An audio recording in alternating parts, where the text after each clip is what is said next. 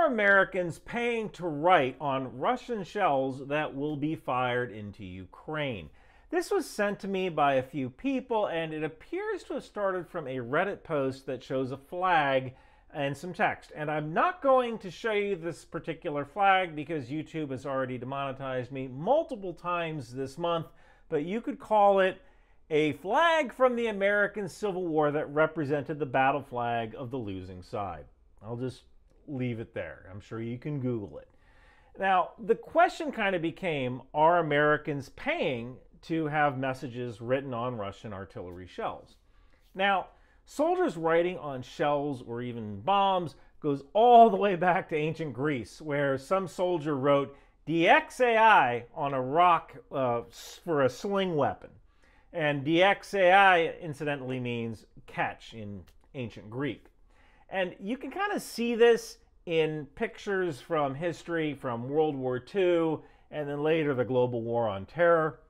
But this particular example came from a Twitter account called Z Shaker Central or Grisha Putin. And for the price of 30 euros, you can have your message written on a shell. And for 200 euros, you can have a video of it being loaded and presumably being fired into Ukraine.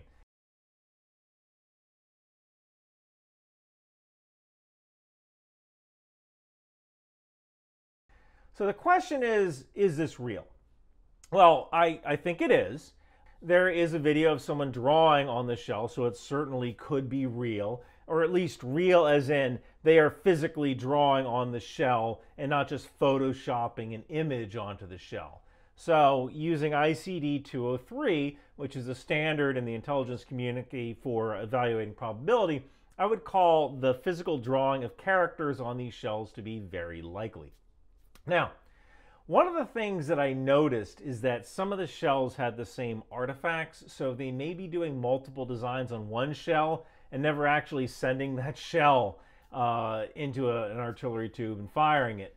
Um, unless maybe someone pays those 200 euros and then they can have that shell fired. Uh, now, unfortunately, I noticed this, but as I was writing the script, uh, Laserpig posted about this on Twitter. So I, I have to give him credit. Um, you know, there's there's enough cake for everybody to eat, uh, and if there's one thing both Laser Pig and I like, it's cake. So uh, you know, he can check out Laser Pig's channel. He he gives some good analysis. So in some ways, this could be a grift, and these particular shells never travel downrange. Uh, we really don't know, but it does look like some of these shells are the same shell. So the next question is are Americans paying for this, or is this some kind of Russian psychological operation or psyop? Based on the designs, you see a lot of anime characters, so I think this might be more of like an internet edge lord kind of thing. Um, you know, all those 4chan incel losers who watch anime and talk about red pill or obsessed with jaw lines. I, I think it's paid for by those guys. I have trouble believing that a Russian PSYOP officer is into anime. I mean, maybe. I'm almost 50 and I tried getting into Yakitori on Netflix and I just I just couldn't. Although Blue Eyed Samurai is freaking amazing. You should definitely watch that on Netflix. So, maybe some Russian PSYOP officers are commissioning designs like this, but to, to what end?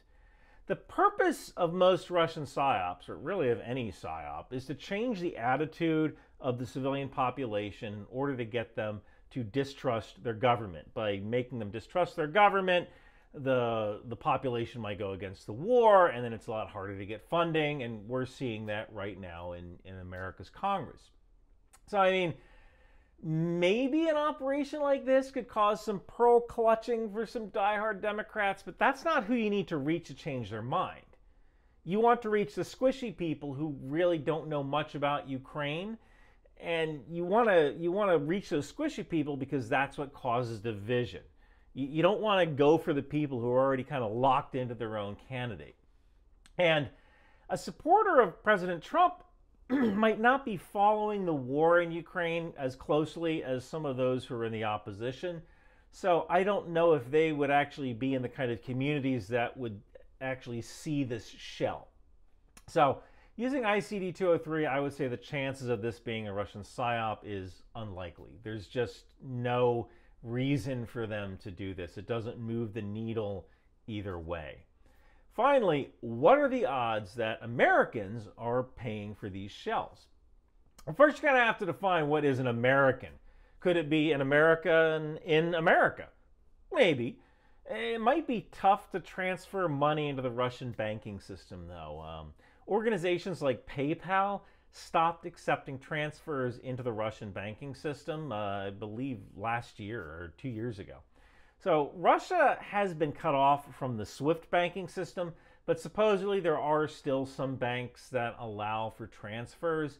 And um, if you're one of those internet edge lords, though, you probably have a Bitcoin wallet or, or some way of transferring money. Now, if you're in America and you transferred money to this guy, you're probably on a list now. And that is not a list that you want to be on. But there could also be some expatriates living in Thailand or the Philippines. And I could totally picture some shady characters who live in Thailand or the Philippines uh, sending money to this guy and then posting it on 4chan uh, to get some kind of edge lord cred. So, using ICD 203, I would call the possibility of Americans paying for some of these drawings a roughly even chance. Now, one more thing. Be careful writing on shells. You know, when, when, when you do stuff like this, it can be taken way out of context. This girl wrote on this shell back in 2006 when Israel uh, was in Lebanon, and it's been used to claim that this was fired in Gaza recently. Something you write on a shell might be taken out of context years later. And you know, in the in the case of this picture, who knows who that shell landed on? I kind of wonder how that girl feels about it today. Was that the right thing for her to do? It might have felt good at the time, but knowing kind of what happened in Lebanon in 2006, do you feel good about yourself now? So don't do something that you might regret later. It's personally not something I would have let my guys do as a platoon sergeant or as a first sergeant. Uh, you know what? If you have enough time to ride in the shell, I'm obviously not working you hard enough. So come here, bring a water source. Since you have all this extra time, I got some sandbags I need filled. So yeah, it would behoove you not to do that. And uh, if you do do it, it would behoove you not to post it online. And if, by the way, you say behoove too much, you can go to Bunker Branding and get one of my Behoove t-shirts or even one of my Behoove stickers. It makes a great gift for NCOs who say Behoove too much. Thank you guys so much for watching. In a world where fashion meets firepower, where style becomes strategy, it's time to gear up for the ultimate mission with Bunker Branding. Introducing the Rock Out With Your Chalk Out t-shirt, a tribute to the fearless air cavalry. Feel the adrenaline rush as you don the pride of the skies. For those of you who dare from the air, precision and power unite when you think outside the bomb. And don't miss our Live, Laugh, Launch t-shirts for Patriot and HIMARS, because sometimes defending freedom means bringing the thunder. Finally, for the true defender of the seas, we present Department of the Boat People. Sail with honor and show your allegiance to the world's mightiest maritime force.